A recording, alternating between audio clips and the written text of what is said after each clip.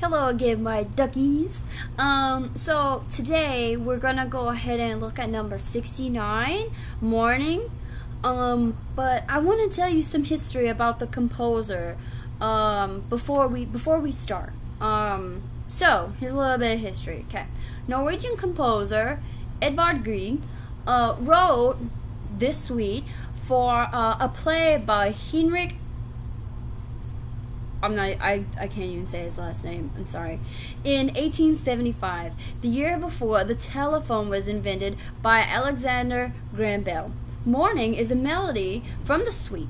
Music play uh, I'm sorry, music used in plays or in films, television is music called incidental music. So, this song, you hear it a lot in movies. Like anytime the sun is coming up or it's morning, hint the name of the piece. Morning, and it's just like a ray of sunshine, right? It's supposed to be happy, uplifting, wonderful. Um, and once we go ahead and start, you'll go ahead and hear um, that change. You'll hear, you'll know this song soon as we start. So let's go ahead and um, look at it and then we'll clap and count it. So let's look at it first. Look at your clef. Whoa, it didn't change. Look at that. Now, let's look at our key signature. Remember, your key signature is your flats, your sharps, your naturals, all that fun stuff. Or for trumpet, clarinet, that space between the clef and the time signature because we haven't had any anything in our key signature yet. So, remember flutes, low brass, you have two flats, B flat, E flat. I gave you a hint. You're welcome. Um, saxophones. You have one sharp, F sharp. Hasn't changed. Woo! Wonderful. Now, percussion. Uh, if you do have the bell kit, you have two flats, B flat and E flat, just like low brass and just like the flutes. Now, let's go ahead look at our time signature. We're still in 3-4 time. Now, my brain just stopped. That's okay, we'll keep going. 3-4 time. 3 beats in a measure. 4, quarter note gets the beat. 3, 4. 3 beats, quarter note gets the beat. Wonderful. If you look at this, we have a lot of quarter notes, some eighth notes, and at the very end we have a dotted half note. How many beats does a dotted half note get? Wonderful. Three beats. Just wanted to make sure you remember. Okay, let's go ahead, clap and count.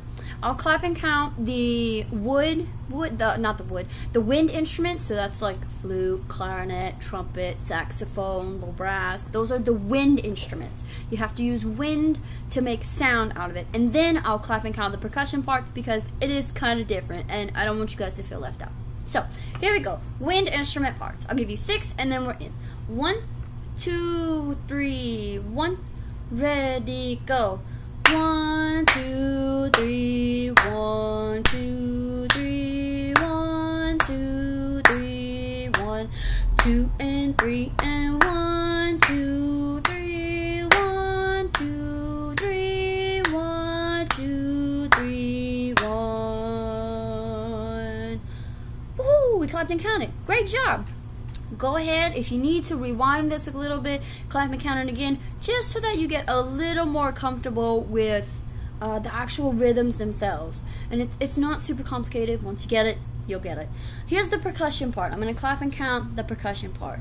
Um, I'm not going to say the flams because I'm not quite sure how you would say a flam. Um, if you need extra help message me and we'll figure it out.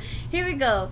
One, two, three, one, two, three, one, two, three, one, two and three and one, two and three and one, two and three and one, two, three, one.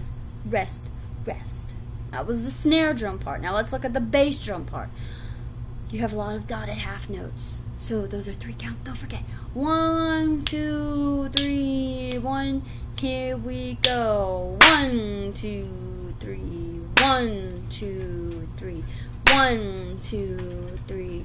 One, two, three. One, two, three. One, two, three. One, two, three. One, two, three. Woohoo! Great job. Um, the triangle part is very similar to the bass drum part.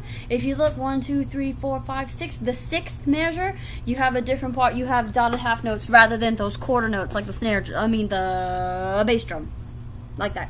Um, so let's go ahead and look at some more details. Uh, we went over the rhythms. Let's look at the details. The very first measure. What's our dynamic? Remember, dynamic is the volume level. Somebody say piano. Wonderful. I'm so glad. Do we remember what piano means? Piano means shh, it's soft. Okay, now let's keep going. So measure one, two, three. You look at measure four. We have one of those comma things again. It's a breath mark. So make sure you breathe. Now look at the next measure. We have a crescendo. I'm having to like do this backwards because it's it's different. So we have a crescendo. I think this is the right way. I don't even know. We have a crescendo for one measure. And we go from piano up to mezzo forte. So that's a bit of a growth. We're going from like here to like here. That's a bit. That's quite a bit. And then once we get to that mezzo forte, we come back down. And we, we decrescendo for two measures until the very last measure where we're piano. We're soft again. It's like the sun came up and then it's going back down. Okay? So, um, let's go ahead. I'll play. You guys shadow play. Um, just so that you can see what's going on. Okay? Here we go. Six counts and we're in. One, two, three, one. Ready, go.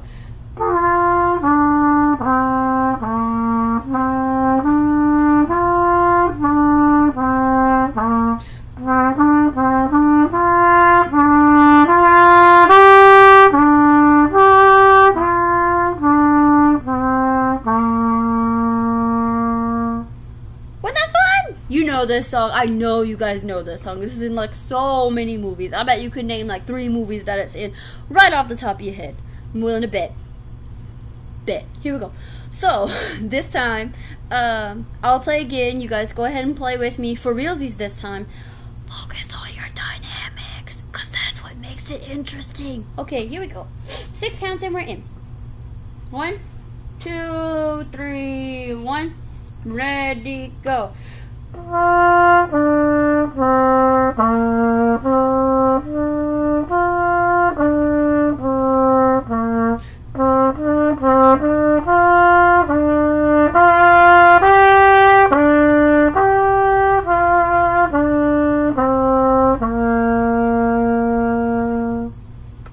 How'd you do? I bet you did really well. So, um, keep working on this piece.